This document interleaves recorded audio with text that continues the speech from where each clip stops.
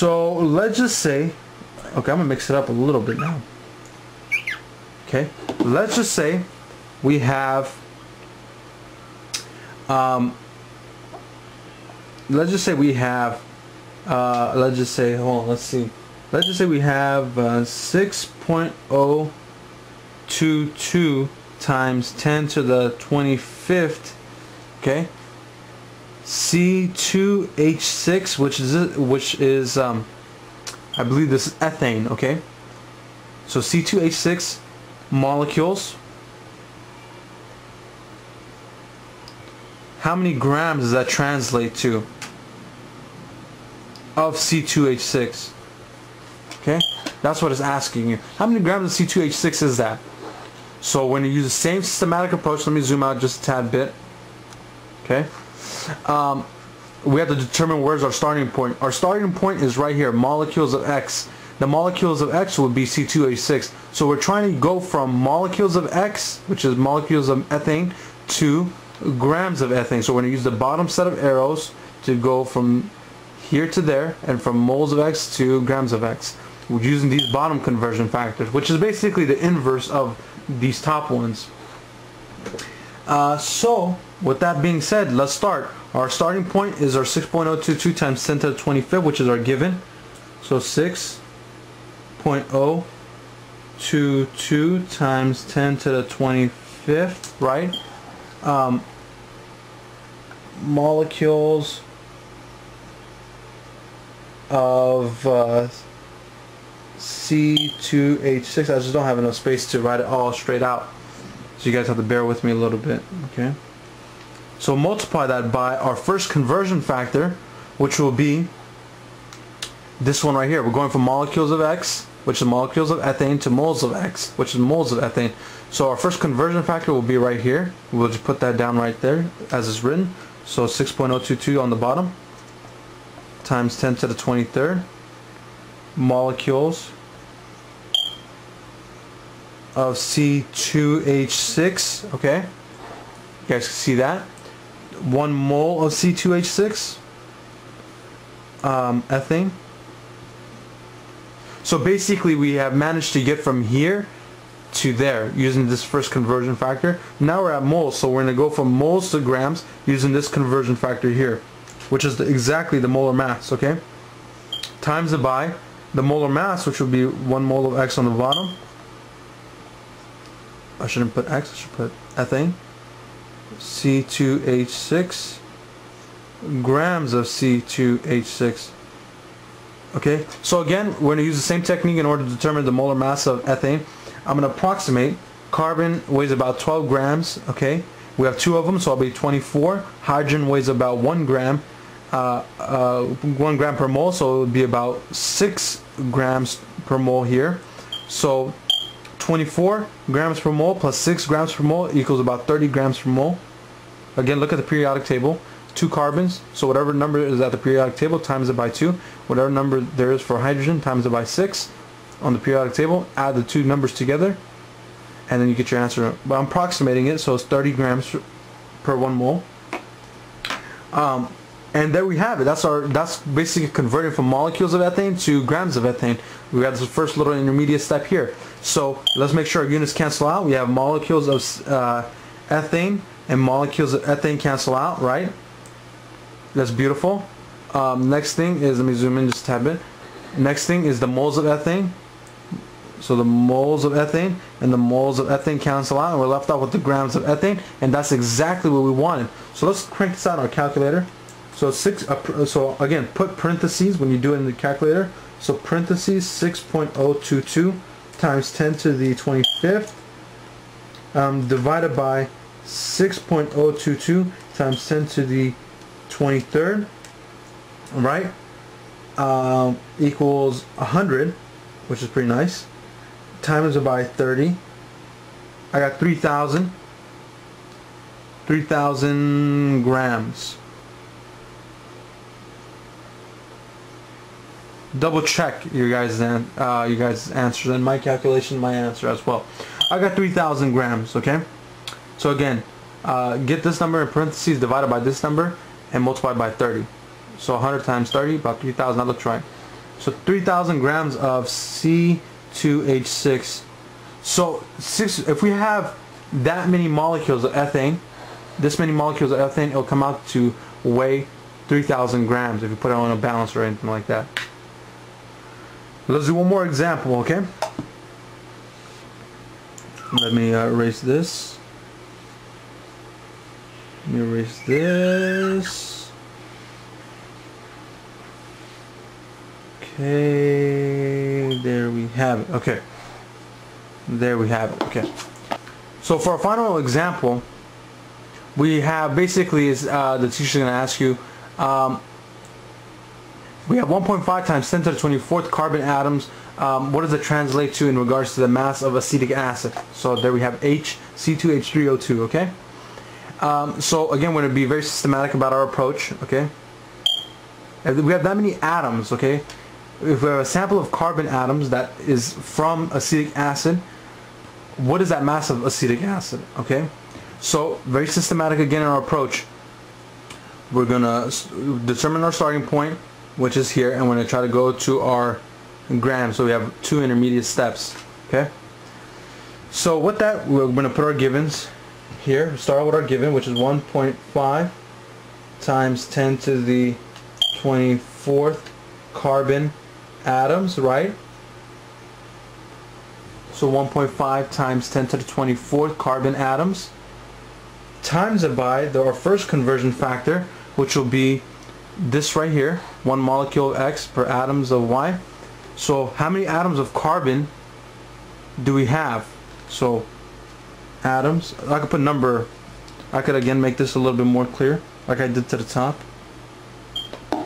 and put number of Y atoms. I could have made it a little bit more clear, but nonetheless, let me just carbon atoms per one molecule of C2 uh, H C2H3O2 right? It's a little bit messy but nonetheless you guys get the drift. So one molecule of HC2H3O2 which is acetic acid has how many carbon atoms? Well you look at the um, the, the the formula the chemical formula um, it's there's two carbon atoms per every one molecule of uh, acetic acid. So we put a 2 on the bottom. And now we multiply and by our next conversion factor that we have right there. So we'll put, uh, hopefully I have some space, but nonetheless it will be 6.022 times 10 to the 23rd molecules of HC2 H3O2 right? And then we have up here we put one mole of HC2H3O2 I should have picked a better uh, molecule to use because it's a pretty long molecule so right? So again 6.0 we use this basic conversion factor we have up here. And then our final and basically that linked us from molecules to moles okay? And now we're going to link it finally from moles to mass. That's what we're trying to find. And it will be one mole. This will be the molar mass. And then basically we're going to multiply this by the molar mass which will be um, one mole of HC2H3O2 right? To the molar mass which will be in grams per mole. And the, oh, I have to write this again. H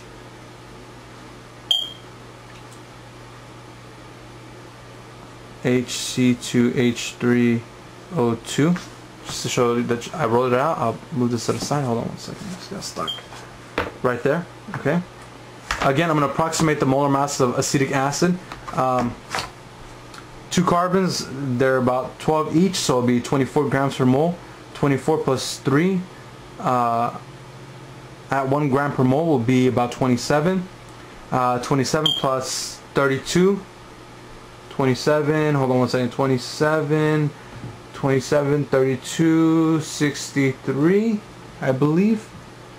63 um, grams per mole.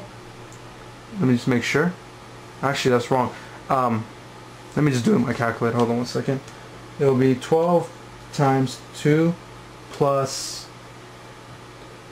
12 times 2 plus 4 plus 32.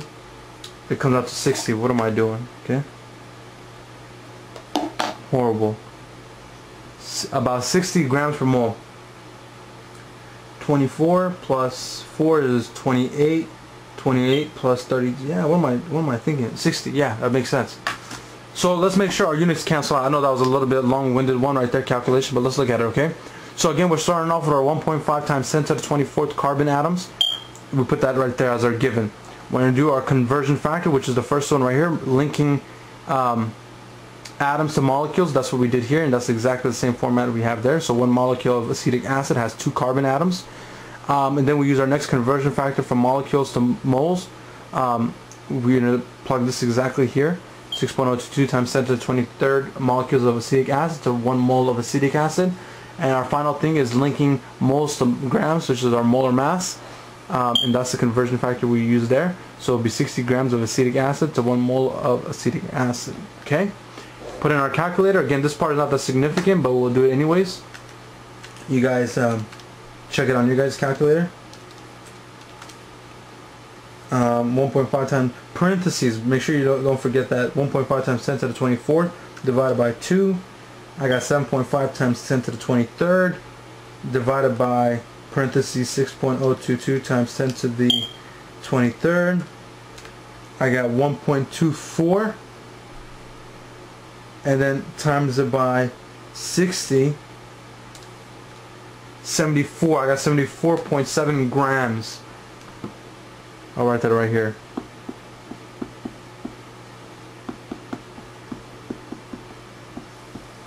That's our answer, 74.7 grams. Again, I'm not worrying about sig figs, but nonetheless, that's the answer.